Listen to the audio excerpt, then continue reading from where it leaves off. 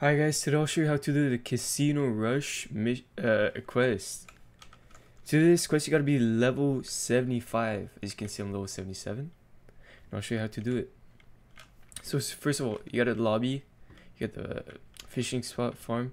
You gotta take a sharp turn and go to the casino. As you can see, it's right here. And you're gonna be talking to this guy. After talking to this guy, he's gonna give you three quests. So first of all, you gotta be um. So whack a creeper, as you can see, just whack a creeper. That's it.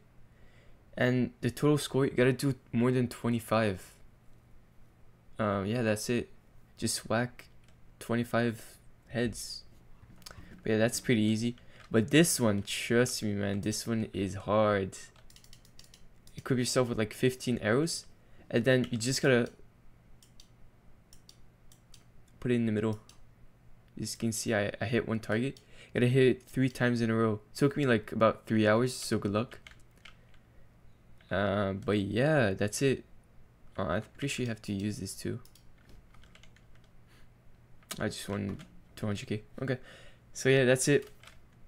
Um, yeah, after you're done with all three, this one is pretty hard. The basket arrow, you gotta hit it like three times in the middle. Like you see the orange block.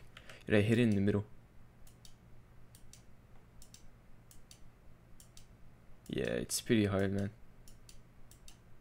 Like, the, it's so, the servers are so laggy, so it's gonna be fucking long. But yeah, uh, the wacky creeper is gonna be easy. The flower game was pretty easy. And the basket arrow is almost impossible. But yeah, oh. I hope you guys have good luck. But yeah. I'll see you guys. But yeah, after you're done with this, just talk to him again, and then uh,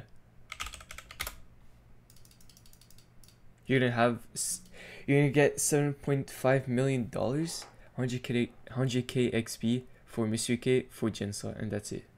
And then you're done with the mission. Hope you guys liked the video. I'll see you guys in the next one.